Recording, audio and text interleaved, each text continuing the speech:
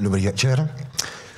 Tak, já se jmenuji Jan Zajíček, jsem režisér a e, před několika lety mě oslovil můj takový životní souputník e, Vladimír 518 námětem na dokumentární film o československé poválečné architektuře.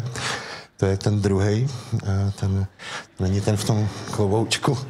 No a e, já jsem vlastně na začátku vlastně vůbec netušil, jak do toho proniknout, jak do tohohle toho velikého tématu jako vstoupit. A vlastně byla taková jako hodně, hodně temná přede mnou jako masa velká. A e, Potom vlastně se stala taková věc, že e, začala probíhat e, demolice e, budovy Transgasu od e, architekta e, mimo jiné teda Václava Aulického a dalších architektů významných.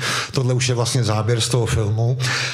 A my jsme prostě museli vlastně začít ten, eh, ten, eh, ten eh, nějakým způsobem jako připravovat ten film a vlastně vzniknul i tenhle ten záběr, který se stal takovou jako iniciací k tomu, jak vlastně to téma jakoby uchopit.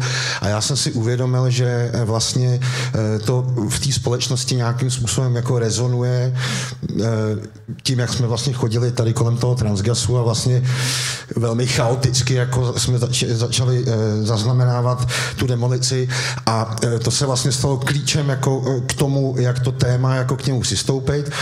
A vlastně ta, ta, ta linie téhle současné debaty vlastně se stala jednou takovou jako takovým hlavním pilířem e, toho, tohohle toho filmu a samozřejmě vlastně druhá, druhá taková jako základní, základní linie vlastně ta historická road movie, jak jsem si to pracovně pojmenoval. Jo.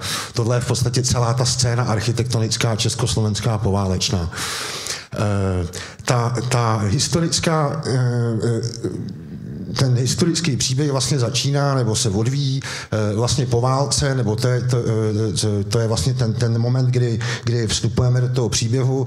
Tohle je vlastně Sorela vedle, to je Empire State Building a tohle to je vlastně pražský hotel International, takže tady už je vidět vlastně odkud vítr vané.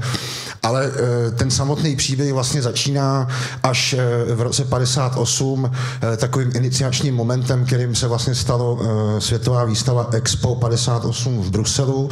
Tohle je fragment eh, eh, takového videa od Corbusiera a Xenakise poem Electronic, která vlastně způsobila jako velký halo.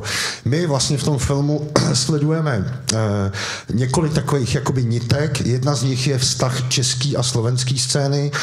Tohle je architekt Ivan Matušík, autor tady té budovy vpravo, což je nákupní středisko Slimák versus Eh, vlastně teda ten, ten eh, pavilon Expo. Jo. Zároveň taky sledujeme nějaký vztahy vlastně eh, tý současné, tuzemský scény versus teda nějaký jakoby světový kontext, čili tady vlevo, že jo, to je, to je slavná Corbusierova stavba versus tady od pana architekta Skočka Istropolis na Slovensku. Tam potom vlastně vzniknul velký boom po tom expu, který nastartoval kariéru celý řady prostě významných osobností po té válce, eh, ať už to byl Karel Prager nebo Stefan Svetko, nebo tamhle nahoře vlastně eh, zástupce teda toho mezinárodního stylu eh, od Zdeňka Kony, Strojimport. Zároveň ale s tím vlastně to, čemu se říká brutalismus, což je trošku zavádějící, tak je vlastně i ten typ té sošní architektury, kterou tady reprezentuje Stanislav Kolíbal, ale to jsou vlastně všechny tyhle ty jakoby betonový vlastně betonové stavby. Jo.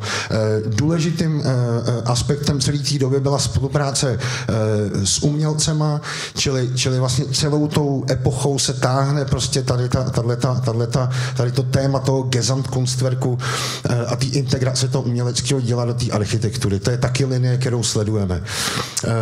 Celý tenhle ten vývoj těch, těch, těch 60. let samozřejmě přerušil 68. Tohle je moment, kdy vlastně rozestavěný parlament od Karla Prágra, eh, který v podstatě celý ten vývoj zastavil a samozřejmě, že i těm politickým souvislostem se v tom filmu věnujeme. Eh, A vlastně ta architektura se začala vyvíjet úplně jiným směrem. Jeden z takových významných e, směrů vlastně je jakoby ta mašinistická, high-techová architektura, kam spadá i, i e, Ještět od Karla Hubáčka, e, školka Sia Liberecká, tady je OD Ještět, který už neexistuje, Aulický a e, Máj a tak dále. A samozřejmě paralelně s tím e, je to i postmoderna, e, což je v podstatě tady největší zástupce je ten, ten, e, ta fotka nahoře vpravo vpravo, což je stejná stavba jako ta, ta fotka vlevo, eh, která myslím, že v, eh, mluví sama za sebe, to je obchodní dům Ružinov v Bratislavě. Eh, ten příběh vlastně uzavíráme listopadem 89, který nejlíp vlastně ikonicky symbolizuje tady tato stavba od Aleny Šrámkový, dům ČKD na Můstku.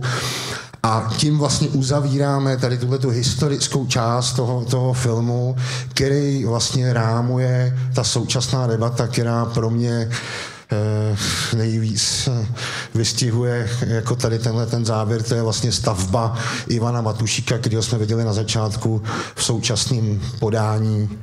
Eh, eh, myslím, že ten záběr mluví za, za vše.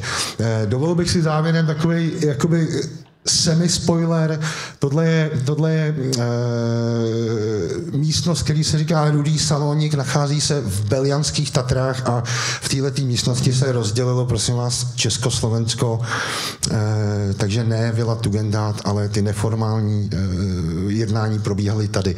A tohle je další takový vlastně jakoby fragment z toho filmu, který si myslím, že docela vystihuje e, nejen to, co, co se odehrává, to je, to je stěna eh, eh, z demolice Transgasu, ale svým způsobem bychom chtěli tím filmem dát této ceduli eh, nový význam. Děkuji za pozornost.